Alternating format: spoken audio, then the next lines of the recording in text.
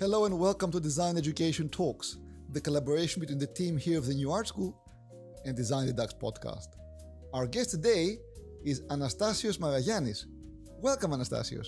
Hello, Lefteris. How are you? Fantastic to have you here. Thank you for having me. Fantastic. So tell us about you and your work. Um, no, yeah, it's a good question, actually.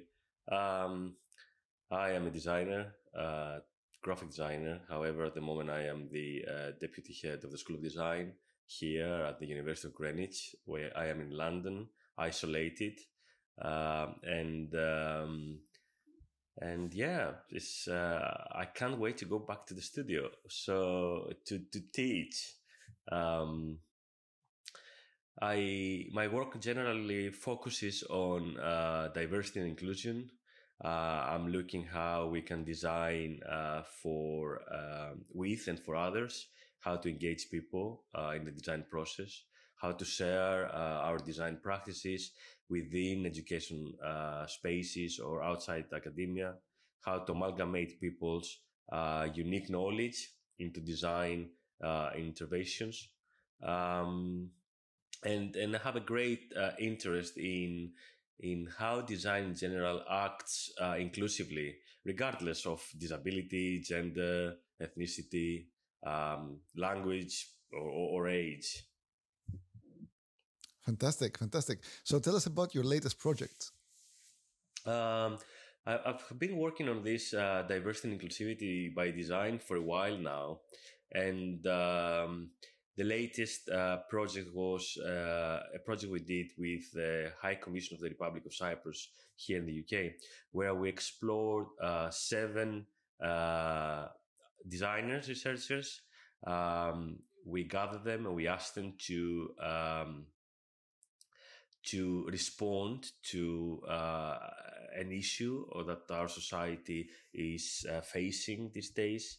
So, for example, one of the works uh, was about how we can engage, how we empower, how we can empower uh, individuals, and how we can um, bring uh, together people that they are either from um, marginalized groups or uh, people that they are isolated. How design can um, help them to become part of, of of the society. So the outcome of this was an exhibition. Um, in uh, it's almost a year now. Wow. I can't believe that it time fast. It's gone so fast. So it is almost a year um, where it was um, an exhibition uh, in London, and then uh, this uh, moved to different places. And uh, yeah, I don't know if you want me to tell you more about. Yeah, please, please, yes. so in general, I mean, um, there are seven uh, different small projects uh, mm-hmm. where um, this exhibition, in a way, put them together. We've been working with the designers for uh, almost a year, and uh, all of the seven people they had different um, uh, briefs in uh, under the main brief. So this exhibition was the output, the outcome of the whole work, where um, reflected on developments on diversity and inclusivity in the current uh, creative Cypriot landscape. Mm-hmm. So it was an interest uh, in exploring themes involving um, uh, design groups from generic uh, or specific geographical locations, uh, or um, focusing on the current modern society and how visual language of communication could uh, shape uh, identities, uh, engaging politics, engaging um, behaviors, etc. So the all, all, the works they had the common objective. Uh, it, it which was what's enabled when designers design uh, with uh, and for others. Um, and the research outputs uh, they're quite dynamic, showing in a way uh, how us as designers can influence people from diverse backgrounds, either uh, refugees or uh, blind people or health, etc. So one of the projects got an award in the Chicago STA Awards. That was fantastic by Alexandros Kosmidis. Um, the overall exhibition actually as a way to communicate the research to wider public got an award actually last month uh, from uh, the International Institute of Information Design. So yeah. Excellent, excellent. Tell us about your, your path to education. How did you get into education? Right. Uh, you know these weird people that they are like very young and then suddenly they say you ask them what do you want to do when you grow up and then they reply to you i want to be an academic that was me ah. uh, so i remember when i was studying uh, graphic design back in greece um, my personal tutor asked me um, so what do you want to do and lots of, of graphic designers at my age i was 19 maybe at the time they would say, I want to be working in an advertising studio. I want to be doing this and that. I don't want to say I want to be doing logos because this is not what design is. Um, but I said, I want to be an academic. And the reason for that is because I had an experience when I was, uh, before going to university, where I felt that my tutors, bless them, um, they did some work, but actually I was expecting more from them. I was expecting mm. to be more inclusive in the design process. Mm-hmm. So I thought that I need to change that. So, but you also did a master's uh, in design. Yes, I did my master's in design, and I did also my PhD in uh, in uh, computational technologies and design, mm. where I looked um, uh, readability and design inclusion mm. through my So how do you degree. combine the, the practical aspect of all your of all your experience to to the more theoretical aspect? Well, it is uh, it is a challenge. I mean, um, I don't see a disconnection. I see mm-hmm. a connection between theory and practice. Of course. Um, so I don't know if you know. Um, perhaps you're aware that the terms practice-based, practice-led, uh, practice research, research as practice, etc., etc., is the last 20 years changed massively.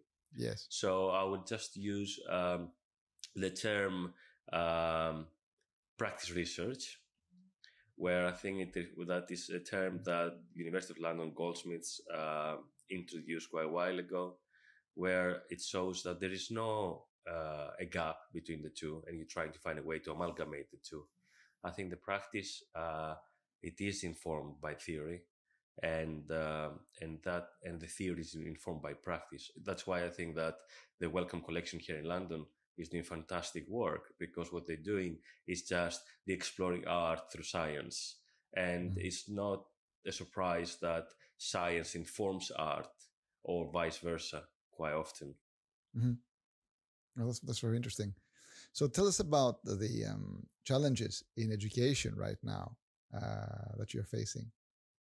Well, you mean uh, with uh, COVID nineteen? Well, we could, we could, start from that. Yeah, I mean, I mean, start from that. There's a lot, of discussion. I mean, I, I was in the group uh, another another day of a discussion, and, and and somebody from Denmark said, for example, you know, that in the Danish Academy, they are not talking about online at all. They said, okay, we're starting September 100 percent.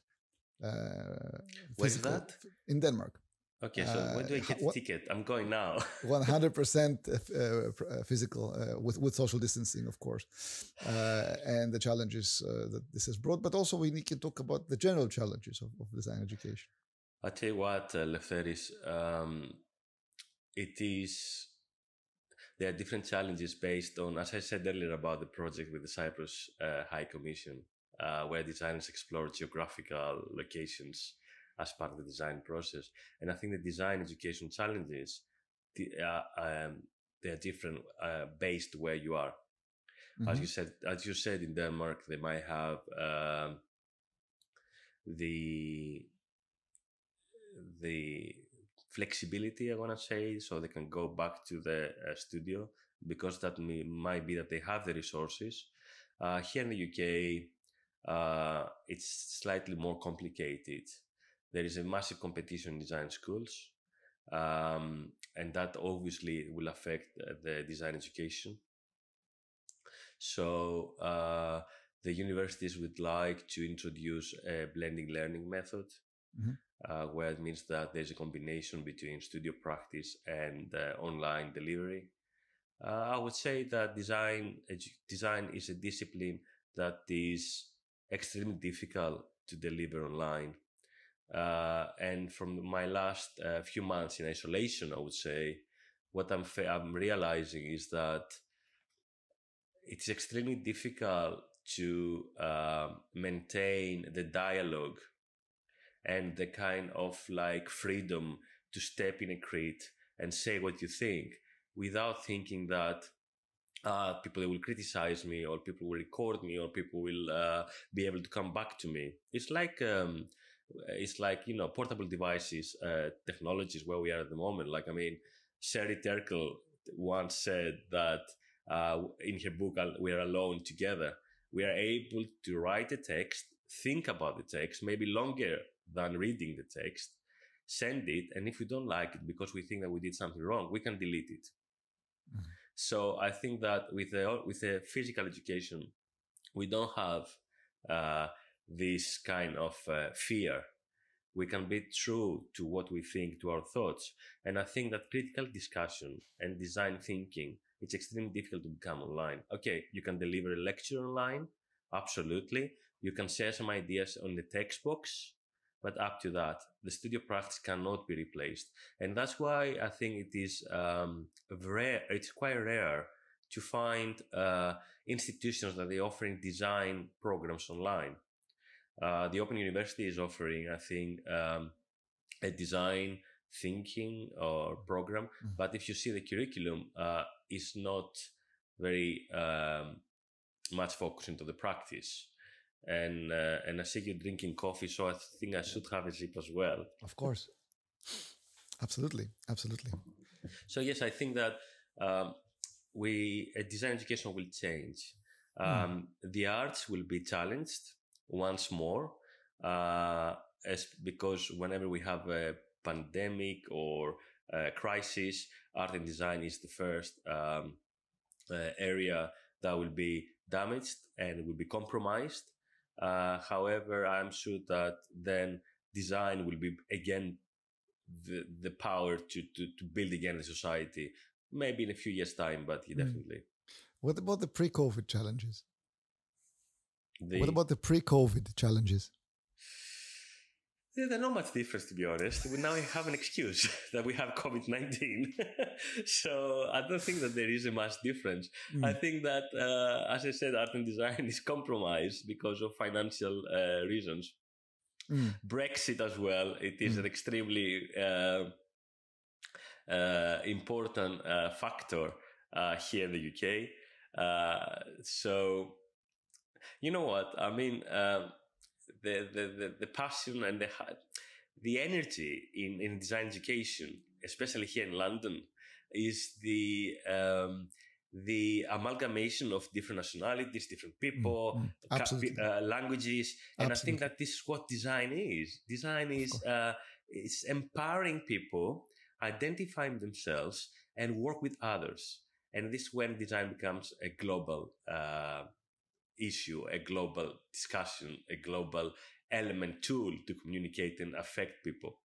So uh, this diversity of voices, mm. it's something which is the heart of design, especially here in the UK, especially in London. So the Brexit, going back to um, to pre COVID nineteen situation, um, really damaged this um, uh, approach, and you can see that from um, how many people they've been uh, applying to study in the UK, mm. uh, and that was a reduced number. And I'm sure that this will change the way we teach, because you know what? In the past, you would design for a local community or a local environment, and then uh, you have the Instagram that becomes going global, and you design something for a global audience However, now if you're not interacting with designers from um, from with international designers within the studio session, that means that you have less knowledge of of those cultures, and it will be extremely more difficult to talk to this culture without knowing them. So then we're going back to the stereotypes. Mm, absolutely, absolutely. So, how can we best support students in this environment, both both during their studies and, of course, into professional life? Uh, do you mean the online environment, the the blending environment? The what would be your advice if if uh, your students or your graduates or uh, any graduates or students are listening right now? What would you like to tell them uh, to support them either through their studies or uh, from the point of graduation onwards? You know what? It, it's again, it's going back to the diverse um, cohort of students. I mean, mm. obviously there are different reasons for someone joining uh, design education. Mm. Uh, the, the, without being explicit though, there are some students that they will join design education because they really think that design is what who they are. Mm. And uh, those people, they will ask for uh, more support. They would like to see themselves uh, growing in the design discipline as designers. We then have some obviously uh, role models that they would like to follow. And then this is where you feel that the design education becomes uh, a dialogue, like the discussion we have now, which is like a discussion that actually uh, it's more close to what Aristotle is, just because I'm Greek now. I'm going to use the reference. so uh, it's like what Aristotle was doing with his uh, peripatetic method. So he was discuss- he was he was having discussions with his tutor, with his students, and he would uh, walk and he will teach them based on what he what is surrounding what is surrounding them. So uh, it's the same thing when you have people passionate about design, then the discussion comes naturally. Mm-hmm. Uh, and then you have uh, the students that they will need more support, especially coming from backgrounds where design was not a priority. And um, and then is when you will need to be more um, engaging with them. For example, um, students they will face the big challenge of uh, employability mm. after they graduate, and uh, I foresee a, a, design crisis coming soon, and I believe that. Um, that we will have to find alternative ways of uh, design education to help people to find jobs for after graduating from a program. So that's very interesting. Def- so what what would what would those ways be? I don't know because you know um, we've seen designing design is facing uh, massive challenges and creative mm. industries they're facing massive challenges. So I think that to help students, going back to your previous question, uh, to help the students, we need to adjust our curriculum and we need to adjust our design education mm. to as we always did with design. And I think that technology plays an important role to the design process. And this is what we encourage students to do, to get more advanced with this. However, design thinking, as I said before, uh, it doesn't come with a tool. It's like going to the doctor. Like, I mean, uh, even if you give me a stethoscope, I know how to use it, but it doesn't i cannot make a diagnosis if someone's mm. sick. So if i give the technology to someone doesn't make them a designer. So we need to, to teach them how uh, they can use critical thinking design thinking with the current technology in order to uh, to develop soft skills for the future. But uh, because talking about the crisis and how we can uh, help them identify themselves in in in the society and maybe that will bring a job later i think that it goes back to the individuals and what they want to do mm-hmm. uh, with um, what passion they have towards design because uh, design is not as a, uh, a factory for cupcakes they all taste the same but they have different yeah. color yeah. i think that design education is about uh, more like an artisan cake shop where you have exactly like you sell cakes, but actually they're all different. That's brilliant. Brilliant. How can our viewers and listeners find you? How? How my, can our viewers and listeners best find you? Um, they can search online. They can go to the University of Greenwich uh, website and they can find some information about me there. Uh, also, um, they can look on diversity and inclusivity by design website where they can get some materials and information about diversity and inclusion. Uh, this research area that we I'm leading and we work a lot in the University of Greenwich, and uh, we ex- we're working with multi cultural international um, researchers and designers exploring uh, issues of uh, inclusive design on uh, diverse practices and co-design methodologies. So yeah so if you just google me i think um, that would be um, the easiest way to do it. Brilliant. and my And name it- is very is very difficult to, to, to there are not many people with my name around so i think it would be an easy one Any last piece of advice you'd like to leave us with?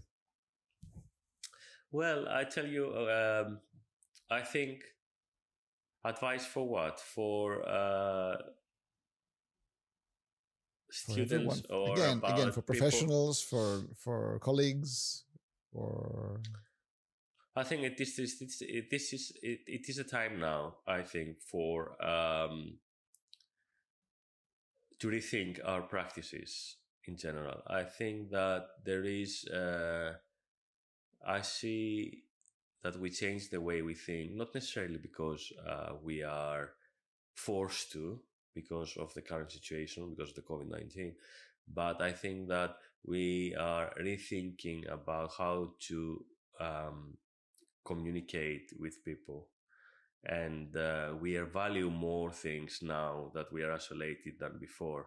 So, talking in design particularly, I want to see more actions of discussions between creative industries, be- between the classroom or the studio practice in an institution, between the students and the professionals, where a discussion uh, can lead to um, to better results that can change in a way the community, the society overall. So, um, if it is a piece of advice, that would be talk more, discuss more, and approach. I would say, I would say mainly for the creative industries, um, have the courage to knock the door of an institution and say, "We're here to help," because that will change the way of people massively in the design world.